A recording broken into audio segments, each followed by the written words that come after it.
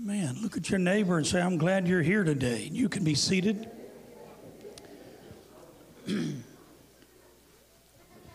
so good to be in the house of the Lord. What a beautiful presence of the Lord is in this place today. Amen. I love what I feel. Amen. This is going to be a it's going to be a historic week. And um, the late Paul Harvey said in two of his noonday broadcasts, he said, The coming home of the red cow is the next forecastable world event. He said there was a Yiddish writing that had been recently rediscovered that had named some very important events down to the very letter in the life of Israel, all the way up to the Iraqi war even to the point of naming some of the countries that were involved. He went on to say, This, however, is not what excited the Orthodox Jew, but it was the event immediately following that, and that was the redemption of Israel. He said, Israel cannot be redeemed until she repents, and she cannot repent until she comes home, and the red cow will call her home. The prayer of the Jew is Messiah, come home. Messiah, come home. End of quote. I've said it here before many times. You that attend here know this is a subject I've covered many times. Just going to touch a couple of things on it today. But there were no seats, no chairs, no benches in the temple or the tabernacle because the work of the priest, the blood work, was never finished. It's never a place to set down because it's never finished. So, Hebrews chapter 10, verse 11 said, And every priest standeth, he standeth daily, ministering and offering oft times the same sacrifices which can never take away sin. There was no such thing as remission of sins in the Old Testament. They did the same routine sacrifice. Everything was absolute perfection. But even if they did the very best they could, all it did was kick the sin down the road for another year, another decade, another century. It could never take away sin. But Hebrews chapter 11, verse 12 said, But this man, speaking of Christ, after he had offered one sacrifice for sin forever, he sat down at the right hand of God. Why? Because the blood work was finished. The temple and the tabernacle had no chairs, no stools, no benches, no place to sit down because the blood work was never finished, but Jesus Christ finished the blood work. Why is that important? To stress to you that we as the church, we, we are excited about what's going to happen Friday or what's scheduled Friday in Israel. But the church doesn't need a red heifer. The church doesn't need any more blood on an altar to be spilt because Jesus finished the blood work. But the Jews do need that. They need that. And God has finally provided one at the perfect time in human history.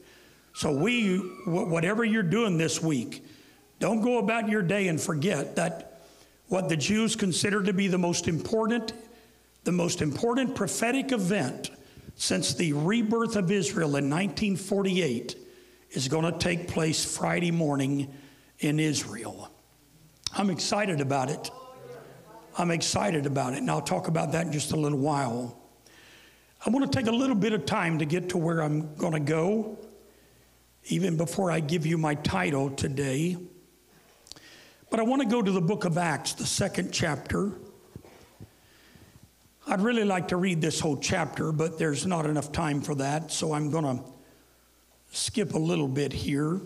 Maybe, maybe most of you know enough about it to fill in the blanks.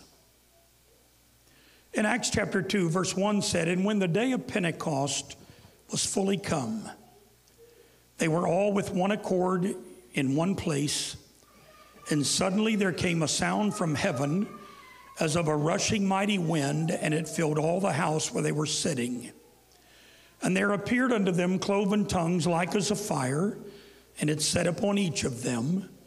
And they were all filled with the Holy Ghost, and began to speak with other tongues as the Spirit gave them the utterance. Verse 12 said, Now they were all amazed and were in doubt, saying one to another, What meaneth this? They were gathered there for the Feast of Pentecost, Jews, the Bible said, from all over the world. They had come there to celebrate the Feast of Pentecost. And now these men and women, 120 of them, they're in the upper room and they're spilling out into the street and they're speaking in tongues. They're staggering around, probably doing a lot like what you've seen here today. And when the Jews saw them, it was definitely out of order. When they saw them, they were amazed and they were in doubt or they were confused. And they were asking one another, What's going on? What, what just happened? What, what's going on with these people? And the Bible said in verse 13, Others mocking said, These men are full of new wine. The ignorant are the ones that start the mocking. They always betray their ignorance because they mock. Somebody said, What's going on? What's happening here? And those that didn't have the answers, they just mocked it, said, Don't even wait for an answer. They're drunk, they're full of new wine. But Peter, standing up with the eleven, lifted up his voice and said unto them, Ye men of Judea, and all ye that dwell at Jerusalem, be this known unto you, and hearken to my words. For these are not drunk, as ye suppose, seeing it is but the third hour of the day. He said, You can mock it, but you're wrong. You're wrong. But this is that which was spoken by the prophet Joel. He's saying this is actually a fulfillment of prophecy. And then he quotes from Joel. And it shall come to pass in the last days, saith God, I will pour out of my spirit upon all flesh. Your sons and your daughters shall prophesy. Your young men shall see visions, and your old men shall dream dreams. And on my servants and on my handmaidens I will pour out in those days of my spirit, and they shall prophesy. This is exactly the promise that God gave to the children of Israel that He would not just be with them, He would be in them. This is the promise that God gave that he would not just be with us, he would be in us. And Paul said, It was Christ in you that is the hope of glory. So Peter is telling those that were well versed in the Old Testament scripture that we're not drunk, we've not lost our minds, we're not crazy. We have received the baptism of the Holy Ghost, the promise of the Father that the scripture said would happen. Now, before I go on here, I want to tell you that Luke was the one that wrote this. Luke and Mark were two of the gospel writers, as we call them, but Luke and Mark did not walk with Jesus. They were converts of the Apostle Paul. So they were not there. Luke was a physician, and his, his gospel reads like the book of Acts, which it looks like he is an investigative journalist. He's an investigator and he's letting Theophilus, Theophilus, who he had wrote the first and second books that he wrote, he's writing this to him and he says to him that these things that I wrote to you, I want you to know they're confirmed. He's saying, I did all the interviews, I checked all the stories, so what I'm writing to you about from this man called Jesus, from, from his death, burial, resurrection, all of the things that happened. I'm telling you, it's all confirmed. You can be confident what I'm telling you is the absolute truth. This is exactly how it happened. So now he's writing here what happened on the day of Pentecost. Peter's not writing this, Luke is writing this. He's writing after talking to critics and other eyewitnesses. And verse number 36 said, Therefore, let all the house of Israel know assuredly, this is still part of the message that Peter is preaching, that all the house of Israel know assuredly that God hath made that same Jesus whom ye have crucified, both Lord and Christ. Verse 37 said, Now, when they heard this, the same ones that thought they were drunk, they had lost their minds, and mocked them. Now, when they heard this, they were pricked in their hearts, they were under strong, heavy conviction, and said unto Peter and the rest of the apostles, Men and brethren, what shall we do? Is there anything we can do? He's talking to the worst sinners that ever lived on the face of the earth. For 4,000 years, they've been waiting for a Messiah to appear. He came to them, he walked among them, he healed their sick, he cast out devils, he delivered them, he even raised their dead. And for all the good that he did, they nailed him to a cross and rejected him. And when they heard this, you killed him, but God raised him from the dead. It must have sent chills up and down their spine. They realized how guilty they were. And now these men are not afraid. Peter is preaching to them, and he's not afraid to tell them, You're the ones responsible for killing the Messiah. I want that settle in on you just a minute. These are the worst sinners that have ever lived in history. Everything above them is up. Wherever category you fit in, you're up from that. Whatever you've done, you may have done it in ignorance. They killed the Messiah. And that God didn't want it, so he raised him from the dead. Can you imagine the guilt they must have been feeling? When they heard this, they were pricked in their hearts and they said unto Peter and the rest of the apostles, Men and brethren, what shall we do? Is there anything we can do? Is there any hope for us?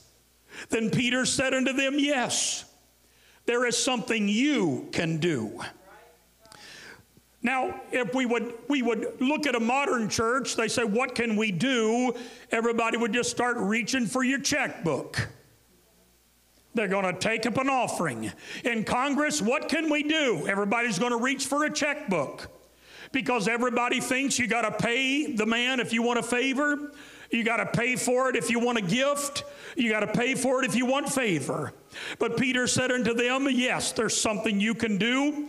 Repent and be baptized, every one of you, in the name of Jesus Christ for the remission of sins. You've got to do it for yourself. Your father can't get baptized for the whole family. You can't have a representative of the children to get baptized for the family. You've got to do it yourself. Repent and be baptized, every one of you. You've got to do it for yourself in the name of Jesus Christ for the remission of sins. You never had that option before but this time they're going to be gone. What's going to happen in that water is not going to kick them down the road for another year. You're not going to have to come back and get baptized again. Once you go down in that water in the name of Jesus Christ, your sins are going to be gone forever. I know you killed the Messiah, but that water's got enough power to remove that stain, that stain from the record, and God will never remember it again. You can face Jesus in the judgment, and He's going to look at you and say, well done, good and faithful servant. Your guilt is going to be gone. That's what you can do. That's all you can do. And then ye shall receive the gift of the Holy Ghost. For the promises unto you and to your children and to all that are afar off, even as many as the Lord our God shall call. And with many other words did he testify and exhort, saying, Save yourselves from this untoward, this warped generation. This was the answer to the question that they had just asked What shall we do? What must we do? Is there anything we can do to save ourselves? Peter responded by saying, Yes, there is something you can do. There is something you can do. If you want, if you want to be right with God, you're going to have to take the first step. If you want to get the stain off of your record, there is something you can do to save yourself. When we repent and we're baptized in Jesus' name, we are doing the only thing we're able to do. I want you to listen to me very carefully. I got somewhere I want to go with this today. But after you do, you do what only you can do. I want you to know repentance and baptism is not what God does. God doesn't do that to save you, that's what you do. That's your part. Look, I'm not trying to offend anybody today, but I'm telling you, just believing in Jesus is not enough to save you. The Bible said that the devil believes in one God and he trembles. The devil is not saved. Believing is not enough. If you believe, you've got to obey what the Word of God said.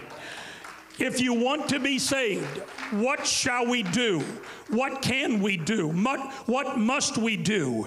If you do what you can do by making an approach to God, repentance is making an approach to God. That's your first move toward Him. And I'm telling you, if you bypass that plan, if you bypass that first step, if you don't repent, you can go straight to the water. But all you're doing is getting wet. It's not effective, it won't make any difference. You have first got to spend some time in an altar and repent of your sins.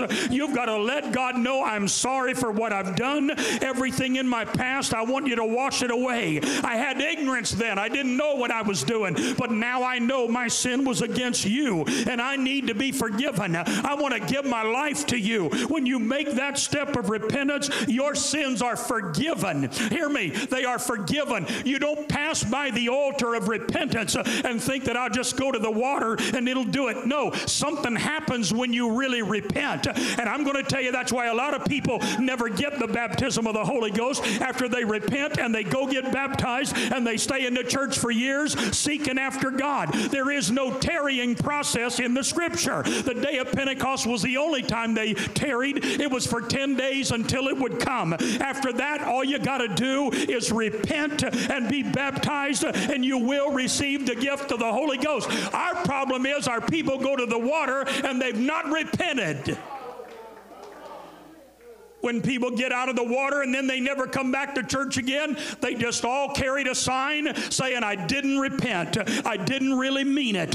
If you wanted to be saved, you knew you had a role to play. Men and brethren, what shall we do? And when you do your part, then in making an approach to God, He will do His part in making an approach to you. I'm telling you, I believe God fills people with the Holy Ghost, but I can't give you the Holy Ghost. Nobody in this building can give you the Holy Holy Ghost. We can't take you in a back room and teach you how to speak in tongues in a book. We can't do it through a phonics class. If you want the Holy Ghost, you got to really repent. And if you'll repent, there'll be no waiting. He'll fill you with the Holy Ghost in the altar of repentance. And then when you're baptized in His name, your sins are gone. They're remitted. You're perfectly pure and clean before God, and He will make an approach to you.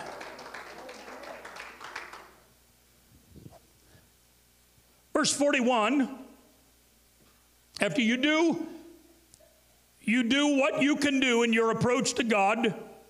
Verse 41 said, Then they that gladly received his word were baptized. And the same day there were added unto them about 3,000 souls.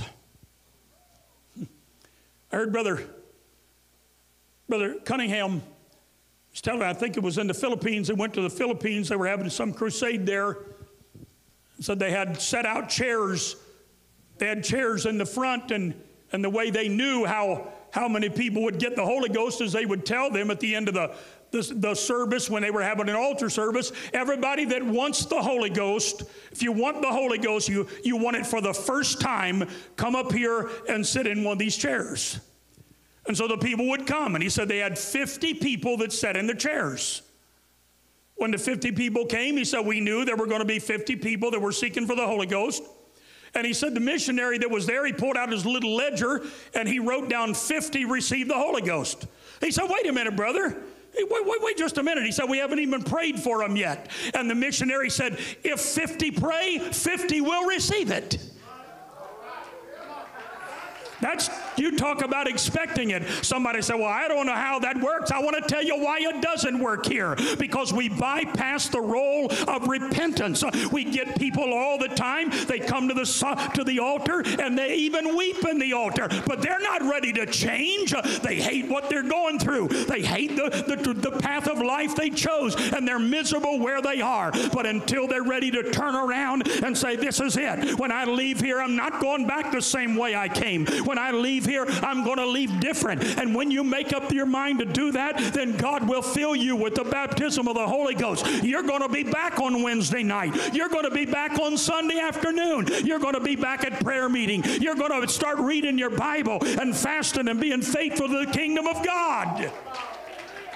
Too many people just want enough parachute religion to get them saved, but they don't want to get rid of their old sin, their old record, their old past if you're going to be saved. And we are at the last of the race. We are at the end of time. This is the hour for the church to get busy and start getting serious about God. Everyone heard, everyone that heard Peter they heard a message so powerful, it can save the whole world. He preached a message that has the power to save the whole world. And still, in the 21st century, the only way to save yourself is to obey the gospel. I want to entitle this today, Save Yourselves. Save yourselves. We've been talking about prophecy for the last few services. It's not, it's not a time to be, to be preaching about things that aren't important. We're at the end. We're at the end. I don't have time to get into any of the details. It's been a week like you wouldn't believe. It's been two weeks like you would not believe. I get up in the morning, have prayer, make a cup of coffee, study till after midnight. Still feel like I, I'm not scratching the surface. I'm exhausted. The people the people of Noah's day were given warnings for 120 years, and yet they still died in the flood because they mocked the messenger. Why, why couldn't one family, why couldn't just one odd family that lived close enough to Noah, that watched all of these animals on their own walking two by two, he didn't lasso them, He didn't grab them in carts. God brought them there. They're walking up this ramp to get into a boat. Animals that don't get along with each other. They're walking up a ramp. They're getting in a boat. Well, wasn't there one neighbor that would say, you know what? I think maybe let's just go spend a few days in the ark with Noah? He, he said, This is it. Everything's loaded before they close the door. Why don't we go up there and just spend a few days? If he's nuts and nothing happens in a few days, we'll come on out. Why didn't anyone think, maybe I'll just try it for a while? But they died. All of them died in the flood because they mocked the messenger. There were members of Lot's family that were destroyed in Sodom and Gomorrah because they mocked Lot and the angels that God sent to carry them out. I want to remind you that God did not send a message of warning to any of the people of Sodom and Gomorrah, only to Lot and his family. And the only reason they got a warning is because Abraham interceded on their behalf. Make no mistake about it, while so many people today are walking in darkness without the knowledge of God, you consider yourself, should consider yourself abundantly blessed today to have been shown the grace and favor of God in this hour. I've been doing this for a very long time, almost 46 years. I preached what I believe to be prophetic warnings all over the world. The things that relate to what were current events of the time, I preached them all over the world. And every single one of those current events, those wars or famines, those plagues of death, the things that have swept over the world, the subtle changes that were happening in Israeli politics, the shifting of weapons throughout Europe, the partnerships that were developing slowly with Russia, China, and Iran, the implantable microchip, even UFOs. I've been warning about all of those things for over four decades. I know some people hate it. I know that if I would announce I was going to be talking about prophecy, some people wouldn't come. They wouldn't even watch it online. Some people even insist that preaching prophecy is a waste of time. And yet, one third of the Bible is prophecy. 90% deals with the day we're living in right now. So, although I've spent thousands and thousands of hours through the years studying Bible prophecy, you will never convince me that I've wasted even one minute investing my time in that. Because Jesus said, when you see these things, when you begin to see these things, he said, then you know that it is near and even at the door. We are admonished over and over in the scripture to watch and pray, to look up, to wake up, to make sure you've got oil in your lamps, and even carry some spare oil with you in case the bridegroom delays his coming and you're standing out there in the dark and, and you're you don't know when he's coming, but you need some light with you. Some people, people say, Brother Moses, I've been hearing that all of my life. It's just another scare tactic to get people to come to the altar and pray. But what's the other alternative? Not to just say anything and just let people continue to walk in darkness, to let them to continue to live in ignorance and complacency while they're completely unaware that hell is waging a war against the church, against their family. Jesus is coming. This is the most important thing right now in your life. I've told this church many times if Jesus doesn't come next week, somebody said, What are you going to do, Brother Moses? You're preaching it. If he doesn't come next week or next month or next year, I'm going to be disappointed. I'm ready to go this weekend. But if I'm I'm not going to be discouraged because I've told you before I'm not a flight risk. I was here when he didn't come. I'm going to be here. Doesn't matter how many people come and go. They've been coming and going for the 46 years I've been in the church but I'm still here and I still believe He's coming. And I still wake up every day, Brother Green, and I'm still looking up. I expect He's going to come because He said He would. So, for the few people that that are offended by what I preach here, maybe my advice is to just turn it off. If you're watching online, just turn it off right here. You won't like it. Go back to binge watching your favorite shows on Netflix uh, where you'll be less offended at what I'm talking about because I'm not going to stop preaching it. Jesus is coming. And if the church that I pastor is going to be ready, it's up to me to be the watchman on the wall to make sure you know what's going on. You may not like it. You can go back to sleep if you want to. That's fine with me, but I'm delivering my soul. Every time I tell you, you better get ready. You better get in an altar and you better repent. This might be your last service. The Lord might not come for five years. If He doesn't come, you still might die tomorrow. You need to find an altar every day, more important now than ever in your life. And you need to pray until you pray through. You need to pray until you got peace and your fear is gone and you got confidence that God is still in control of everything going on in my life. Paul said in 1 Thessalonians 5 and 1, but of the times and seasons, brethren. He's talking to the church, apostolic, Holy Ghost filled people. But of the times and seasons, brethren, ye have no need that I write unto you, for yourselves know perfectly. This has been drilled in you. You have a good understanding. Yourselves know perfectly that the day of the Lord so cometh as a thief in the night. People that don't want to hear anything about the coming of the Lord, that's where they stop. They say, We know enough about it. We, we don't know when he's coming, so we need to just leave that alone and stop speculating. But that's not where Paul stopped. He said, Yourselves know perfectly that the day of the Lord so cometh as a thief in the night. For when they shall say, Peace and safety, then sudden destruction cometh upon them as travail upon a woman with child, and they shall not escape. But then he says, But ye, brethren, now he's talking to us again, ye are not in darkness, that that day should overtake you as a thief. He just said in verse 2, he's coming as a thief in the night.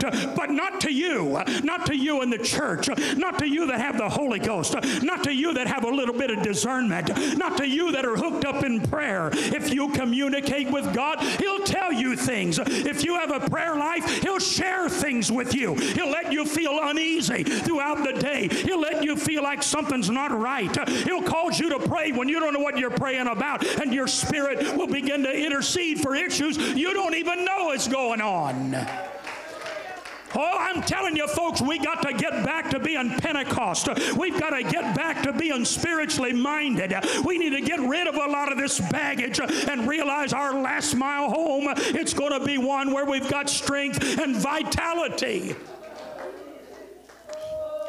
It's not coming on you. You're not children of the darkness. You're not walking in darkness. You're not walking in ignorance. You're not walking in confusion. But ye, brethren, wake up. You're not in darkness that that day should overtake you as a thief. He's coming as a thief to the world, but not to you. The world's going to think that UFOs have come down and millions of people have been evacuated by some foreign, uh, some, some, some country beyond our galaxy. But I'm telling you, we know he's going to sound a trumpet trumpet, and not every ear is going to hear it, but the ones that have the Holy Ghost. There's going to be something quickened inside of you, and your body is going to disappear out of your clothes. You're going to disappear in the moment, in the twinkling of an eye, and we're going to rise to be with the Lord. It ought to get you excited every day. This could be the day. I, I may have taken my pain medicine this morning, but I might not take it tonight. I, hallelujah. I may have taken my metformin for my diabetes this morning, but I'm not taking it tonight. He's coming. And somewhere between here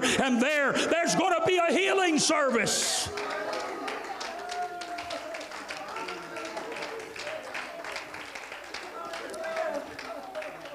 He's coming as a thief in the night for them. But for ye, brethren, notice how the same event relates to us and them. It's the same event, but it relates differently to us and them.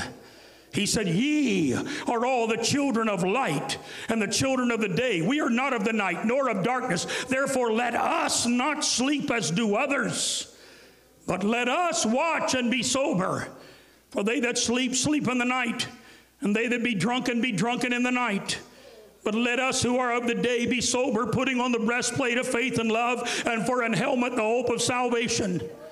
For God hath not appointed us to wrath. Hallelujah. I'm not looking for the tribulation. He said, God hath not appointed us to wrath, but to obtain salvation by our Lord Jesus Christ. Uh, that word, that means we're going to have deliverance. Uh, uh, when, when you relate, the way you relate to the signs of the time is actually determined by whether you're classified in the us or the them category. I'm in the us category. I know that I, I don't have to worry about what's coming tomorrow Paul said in 1 Thessalonians 4:13, "But I would not have you to be ignorant, brethren, concerning them which are asleep, that you sorrow not even as others which have no hope, even in death, brother Green. If we go by the way of the grave, we may cry because we lost them, but we're not crying because they have no hope. We know that in the moment, in the twinkling of an eye, the dead in Christ, they're going to rise first, and then we, which are alive and remain, shall be caught up together to meet them in the air with the Lord, and so shall we ever be with him.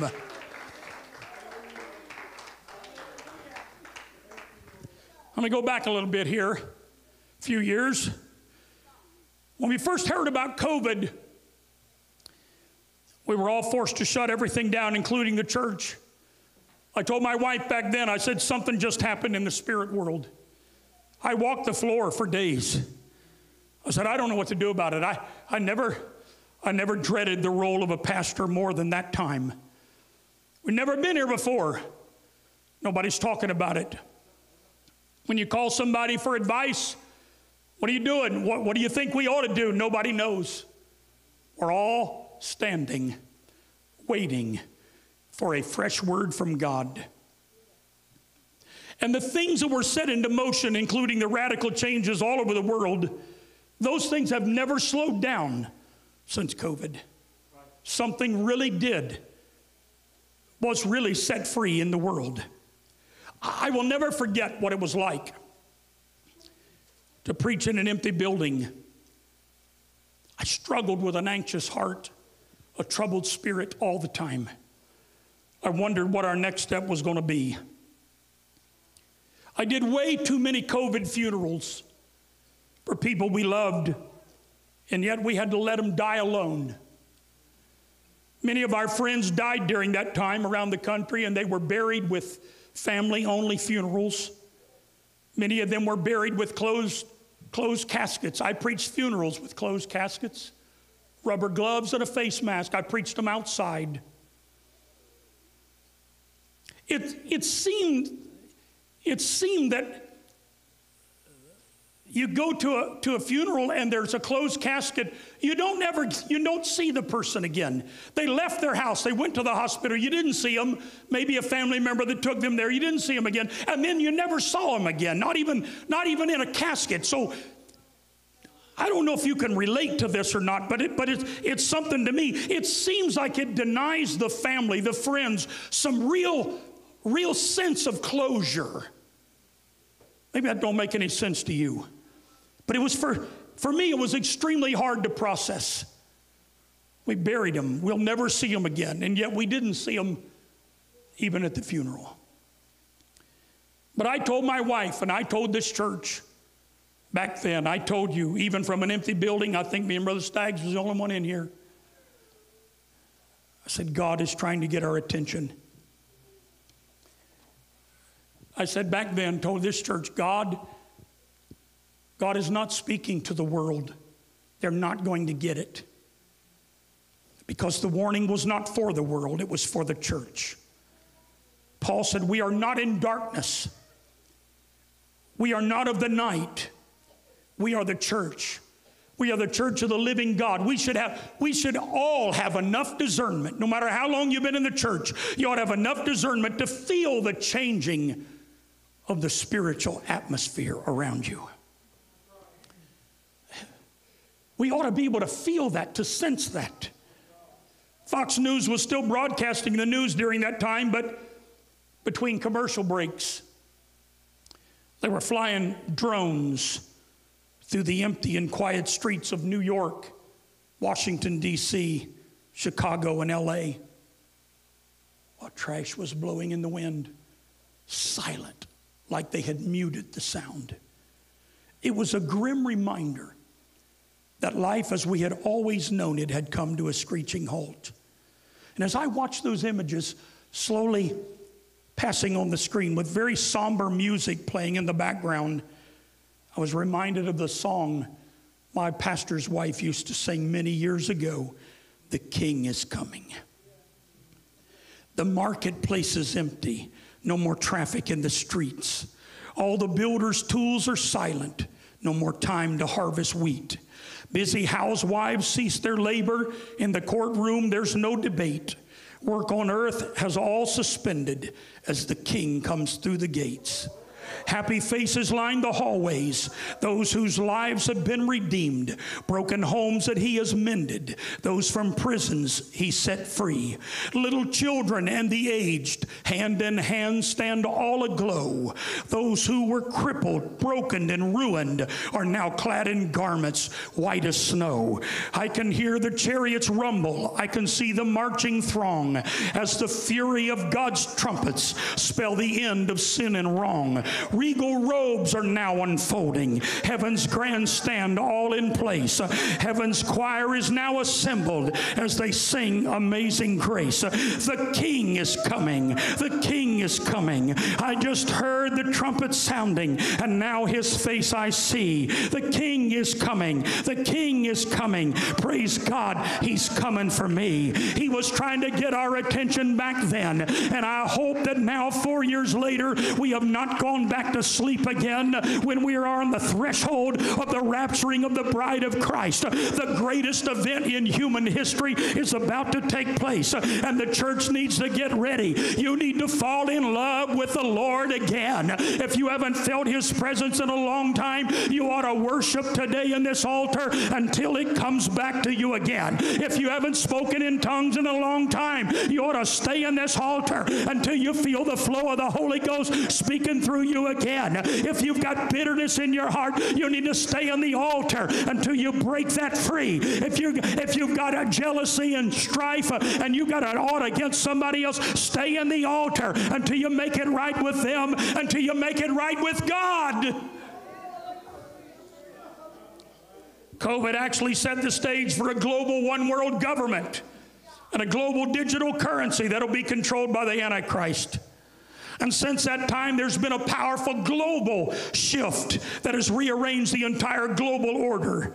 And all the while, it's positioned each character in the perfect place and within the perfect partnership to initiate the Gog Magog war of Ezekiel 38 and 39. We watched it come together with our own eyes. The Jews believe the Gog Magog war is going to start, it's going to be a spinoff of this war. And then, of course, seven years later, will be the battle of Armageddon. I've watched it assemble like you have in perfect alignment right before our eyes, especially in the last four years. And since Israel is God's timepiece, it's a prophetic harbinger of what is to come. You need to be watching Israel. You need to keep your eye on what's going on there. And when you see them looking up, you need to start looking up. When you see them getting ready for a redemption to come by, come past, a, a redemption of their people, you need to get ready. Your redemption is drawing nigh. When they're, they're looking for the end, they're looking for the Messiah to show up. You need to start, as Brother Green said, looking toward the eastern sky. This could be the day. This could be the week, the month. This could be the year. And I don't want to miss that event. I don't want to wake up some morning and hear on the news that millions have disappeared and I'm still here.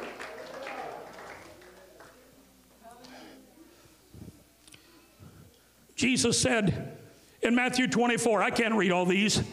Jesus said, When you see these things begin to come to pass, then look up. When you see the fig tree or Israel bring forth leaves, you know that summer is nigh. That miracle of rebirth happened in 1948. He said, This generation shall not pass till all these things are fulfilled. God's prophetic time clock is Israel. It has always been Israel. God, Paul told us in Romans chapters 9, 10, and 11 that God is going to return to the, to the Jews when the Gentiles or the age of the Gentiles is finished. And that's what's about to happen. That's what's getting ready to take place. In Israel, in uh, Friday, being called by the Jews the most important prophetic event since the rebirth of the nation of Israel in 1948. We're not looking for a, a red heifer to be sacrificed. It won't do you any good. They can have five of them offered, and it won't do you any good. If you want your sins to be remitted, you don't need to look to that, that sacrifice in Israel. You need to get in that that water. Some of you need to, needed to do it a long time ago. You need to get in that water. I'm telling you, if you don't, you're going to be left right here. You need to be buried in the name of Jesus Christ for the remission, for the removal of your sins. And if you don't get them off the record, they're going to follow you to judgment.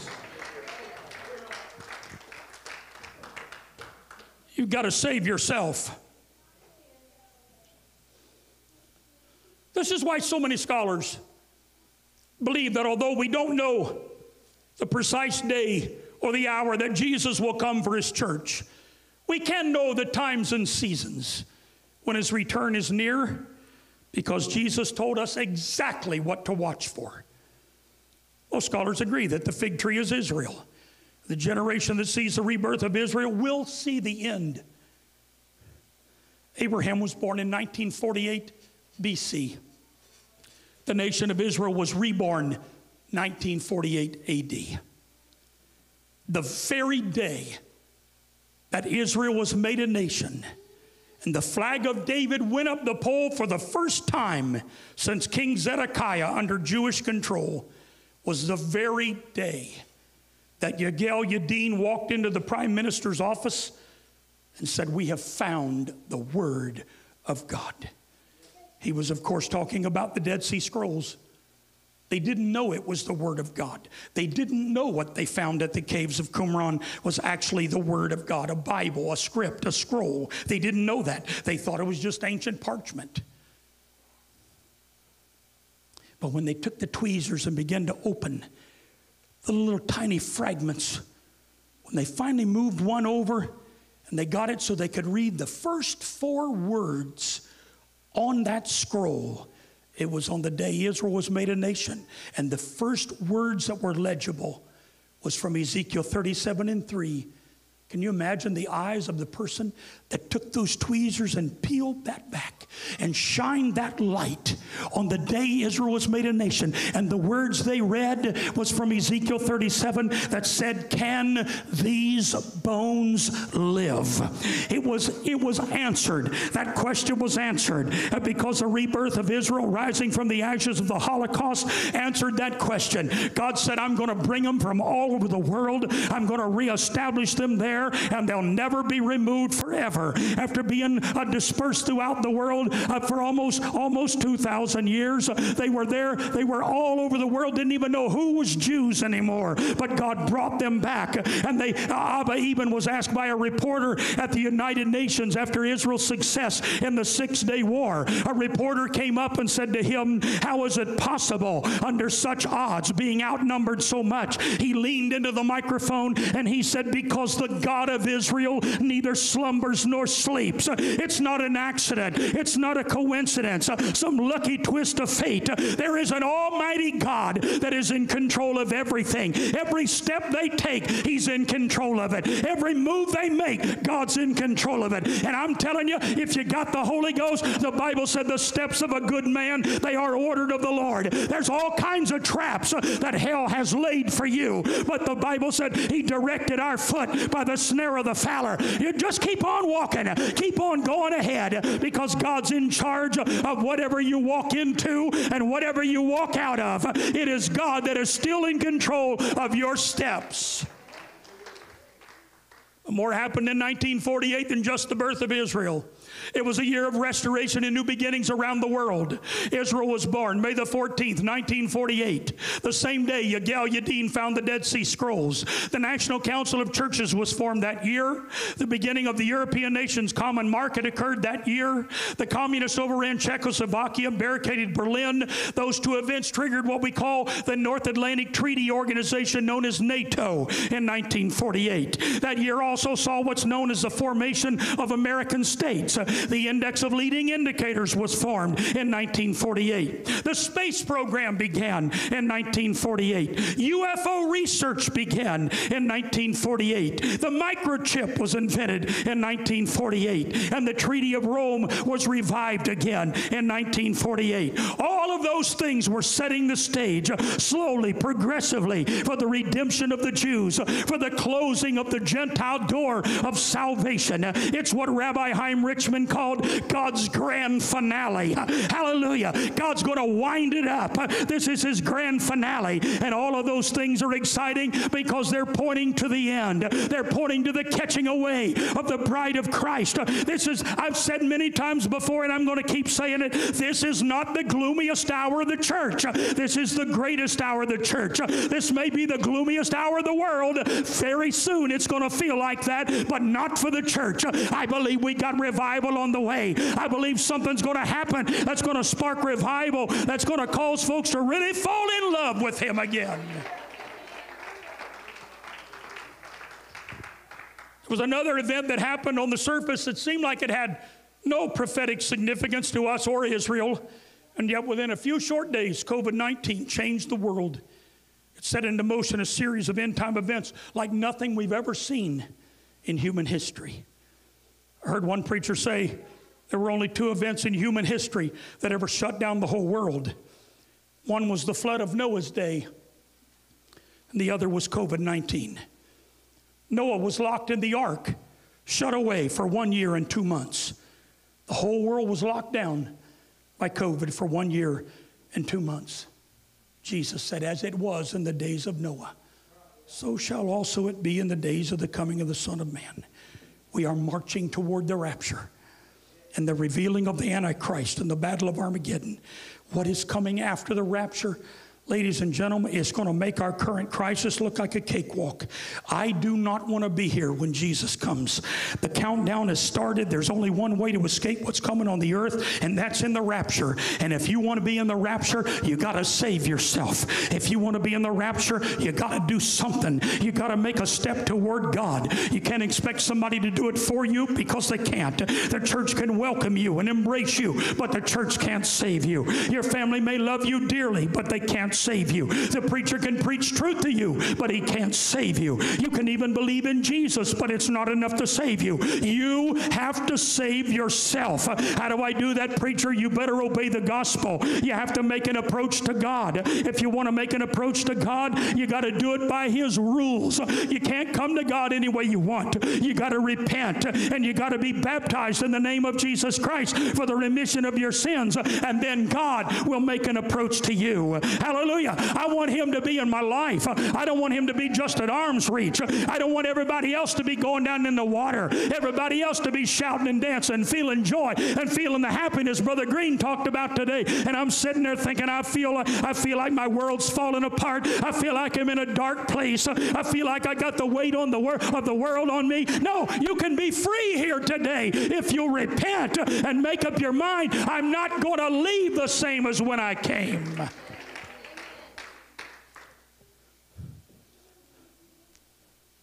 When the red heifers were delivered, I'm hurrying to the the Jews began to dance, and my wife and I was watching it. They were they were delivered, and the Jews that were there receiving them, they were dancing, celebrating because they believed. One of the men were interviewed there, and he said, "We believe these red heifers will change the world." He said, "This is the greatest prophetic event to take place." After the rebirth of Israel in 1948. And we believe that now this will bring the Messiah. I told my wife while we was watching that, I said, it's amazing to me that they seem more aware of the signs of the time than many Christians and even pastors. Why are we not singing, shouting, and dancing and rejoicing because Jesus is coming back? What in the world's wrong with the church? When Christians want Him to wait a while, to give us more time, because we still have things we want to do. We still have places we want to go. We still, what in the world could you possibly want to do that's going to be better than to finally know you're free from temptation, you're free from sickness, from sorrow, from death, you're finally no more disease, no more pain, no more crutches, no more glasses, no more PoliGrip. You're not going to have to worry about anything. Everything is going to be perfect. It's going going to be the most perfect environment. Whatever you had planned you wanted to, whatever you wanted to binge watch on Netflix, uh, it's not important. It has no relevance. It's all going to pass away. But when we get over there, it's forever. So shall we ever be with the Lord. You're not leaving once you go there. You don't have to worry about feeling like you're going to get, lose it when you get up there. There's not going to be a rebellion. There's not going to be politics. There's not going to be war. There's not going to be injustice. There's not going to be unjust courts. Uh, we're going to get there, and it's all going to be joy unspeakable. It's going to be celebration. It's going to be happiness, and we're always going to be together. Oh, I long for that day. I long for that day. Jesus said in Matthew 24, the generation that sees the rebirth of Israel will see everything else come together to set the stage for the end of the church age, the rapture of the church, the great tribulation, the rise of the Antichrist. You'll see it come together. And we have. Daniel said, In the last days, knowledge shall be increased. Knowledge began increasing at the turn of the 20th century. Said that, according to Time Life books about the history of the century, said the first 18 years of the century all the inventions that were done in the first 18 years of the century were the seed inventions to everything we know now. There were more inventions in the first 18 century, in the first 18 years of the 20th century than all the history of mankind combined. Daniel said in the last days, man's knowledge would be increased. At the same time, when the knowledge was increased, the Bible also said in the last days, God would pour out his spirit. The Bible also said in the last days the latter rains would return. While there was a great industrial revolution going on from 1900 to 1918, our rabbi in Israel, our, our guide, wasn't a rabbi, he was, he was a guide. He said the Jewish record shows, the Bible said that God said he would punish Israel. If you forget me, Israel, God said, I will make your land a land of perpetual hissing. Your neighbors are going to walk by and say, Look at the desolation there. That was the blessed land of God. How would he do that? He said, By shutting off the latter rain in its season. But Joel prophesied that he would restore the years that the cankerworm, the palmer worm, the caterpillar, and the locust have eaten. How would he do that? By restoring the latter rain in its season. Our guide in Israel said, when the temple was destroyed in 70 AD, the Jewish record shows it did not rain a single drop of latter rain that year. He said, and for 1,920 years, it did not rain a drop of latter rain in its season. But he said something happened at the turn of the century. In 1901, many of the Jews, in fact, our guide, his family, they walked back to Israel from, I think it was from the Soviet Union. They walked back and resettled the land. And for the first time in 1,920 years, it began to rain, latter rain in its season. Why is that important? Because at the same time, there was a, the Lord said also, saith God, I will pour out of my spirit upon all flesh. Your sons and daughters will prophesy. Young men will see visions. Old men will dream dreams. Upon the servants and the handmaids of those days will I pour out of my spirit and they shall prophesy. In 1901, while there was an industrial revolution being born, knowledge was being increased. There was also latter rain that began to fall in Israel for the first time in 1,920 years. And at the same time, there was a prayer meeting going on in Topeka, Kansas that sparked what we call the Azusa Street revivals when the Holy Ghost fell in that chamber with those young ladies in a prayer meeting. I'm telling you, Israel is Israel is restored. Knowledge has been increased, and revival is once again spreading across the world. I'm telling you, we are living in the last days, and everything that's going on in our environment right now, it was all divinely ordained of God. Everything is going according to the plan. If you want to be a part of that great rapture, that great celebration, marriage supper of the Lamb, if you want to be there when we crown him King of Kings and Lord of Lords, you've got to save yourself. One writer said there's been more prophecy fulfilled in this generation than all the centuries, 19th century since Christ. We're drawing to a close the sixth millennium since the sin of Adam, or 6,000 years of man's time. The angel told Daniel in Daniel 12 and 4, But thou, O Daniel, shut up the words and seal the book, even until the time of the end, for many shall run to and fro, and knowledge shall be increased. It was an end time prophecy he was talking about. There's been more earthquakes and volcanoes in this century than all the 19th century since Christ. America's lost respect for morals, purity, life, and God. They want God out of our schools, out of our homes, our government, off our money, out of the Pledge of Allegiance, out of Christmas, out of Easter, off the radio, off television. I can tell you it won't be long. We will be out. We're going to be out of everything because we're going to be gone. Jesus said, You'll be hated for my name's sake. Don't take it personal. Don't get upset because somebody hurt your feelings. America's not only in decline, America's in a free fall. God is trying to get the attention of the church. This is your greatest hour. This is a time time to get busy about the work of the kingdom of God. God has a plan that's powerful enough to save the whole world. But if you don't follow it, if you don't personally obey it, it's powerless to save you. Romans chapter 1 tells us the whole world has gone mad. Why? Because they're calling good evil and evil good? It's because they've been turned over to a reprobate mind. A Missouri high school picked a male student as their homecoming queen.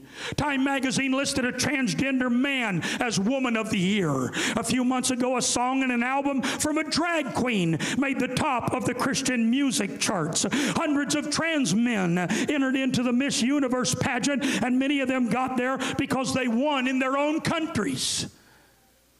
Latest Supreme Court nominee couldn't even define what a woman is. Facebook even released a pregnant man emoji. We've been watching pastors, church members being arrested, beaten, put into solitary confinement for simply gathering for church services. It's so bizarre. My wife said this feels like we're in a twilight zone. None of this makes any sense. What makes it more bizarre is how quickly the population goes along with it without ever pushing back. For 6,000 years, there was no question about how many genders there are. And if you're wondering, there's still only two.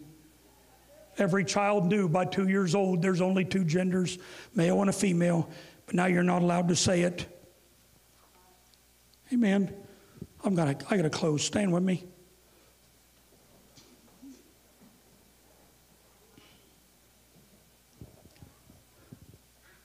William Seymour prophesied I talked a lot about it here when I talked about Azusa Street revival. Asbury, I think I talked about it with Asbury. William Seymour was the preacher that was conducting the revival at Azusa Street in 19, 1906, I think, maybe to 1910. But he prophesied that in about 100 years, in 1910, he stood up on the pulpit and said, In about a hundred years, another revival greater than Azusa Street, greater than Topeka, Kansas, greater than the book of Acts is coming. It will not be restricted to one place or to just preachers, but it will spread all over the world, and it will end with the coming of the Lord. He repeated that prophecy many other times before he died in 1922. Meanwhile, on the East Coast in New York, a day or two apart, Charles Parham prophesied the same thing using mostly the same words. We're in that time right now. The revival that Brother, I wanted to talk about a little bit today. I don't have time to get into it, but the revival that Brother Charles Robinette believes the Lord sent him back to America to get the American church ready for a billion soul revival. That revival is happening all over the world. It is amazing how many people are getting the Holy Ghost in huge waves. And people by the tens of thousands are being healed, instantly healed, made whole from every imaginable disease and affliction. They're being made whole. Some people believe the Lord's going to come on April the 8th at the eclipse. Some people believe the Lord's going to come Friday with the offering of the red heifer. Some people believe it's going to be just a couple of days after the April the 8th. I'm not in those camps. He could. He could. He's God Almighty. He don't have to do it the way I think it's going to be done. I believe we're going to have a little bit of a revival before he comes. I don't believe it's going to be long. It's going to be, I believe it's going to be a few weeks, maybe, real short. A few weeks, maybe a couple of months. And whatever God's going to do, I believe he's going to do it then under a time of great persecution. But I'm ready for whatever, whatever God's got planned. I'm ready. I'm looking forward to it. I want to tell you, I'm going to do everything I can do to help you be ready to meet God, but I can't save you. You need to save yourself. All I can do is tell you how to do it. You need to save yourself. If you have never repented of your sins, if you've never been baptized in His name, if you've never been filled with His Spirit, you need to be in this altar today. You need to pray until you pray through. If you'll really, truly repent, God will fill you with the Holy Ghost. I remember Brother L.P. Upton going to, I think it was Papua New Guinea. So we went over there to do a missions crusade. We got over there, he said we were, we were given our altar call and the people came. Just people everywhere. You couldn't even, you couldn't walk. They were just touching each other in the floor and they were kneeling down and they were weeping and praying and some people were possessed with devils. And he said, We just started leaving the platform to go pray for them. And he said, The missionary stopped us. And he said, Don't, don't lay hands on them. They don't need your help to repent. If they repent, they need to repent on their own. We don't do that in America. Our missionary said we didn't even know what to do. And there was a couple of guys obviously filled with devils, and we were going to go lay hands on them. And they said, No, they can pray the name of Jesus. If they want the devils to leave, the name of Jesus is powerful enough and the devils will flee. Brother Upton said, We stood there and watched them. We watched those people pray the devil out of themselves. And when the devil left, they began to speak in other tongues as the Spirit of God gave the utterance. When the people that were repenting got done crying and weeping and snot and tears everywhere, when they got done repenting, they began to speak in other tongues as the Spirit of God gave the utterance. They didn't need us to coach them. They didn't need us to push them. They didn't need us to do it for them, and we can't. We may just be delaying you, but if you need something from God, you got to get serious. Jesus is coming, and I'm glad you're here today, but you don't want to come. You don't want to be here the day after the rapture and say, I wish I would have done something. When that preacher was preaching, he was telling me how to save myself, and I didn't pay any attention. I want to open these altars today. I'm going to open them to saints, sinners, visitors, backsliders, whoever you are. If you've got something you need to get under the blood, I don't care how many years you've lived for God, get in this altar. Save yourselves. Save yourselves. Repent. Obey the gospel. Obey the word of God. If you've never been baptized in His name, we've got warm water ready today. We can baptize you in Jesus' name. Your sins will be remitted, they'll be washed away. It's a chance for you to get a brand new start. Let's seek the Lord. Let's seek the Lord.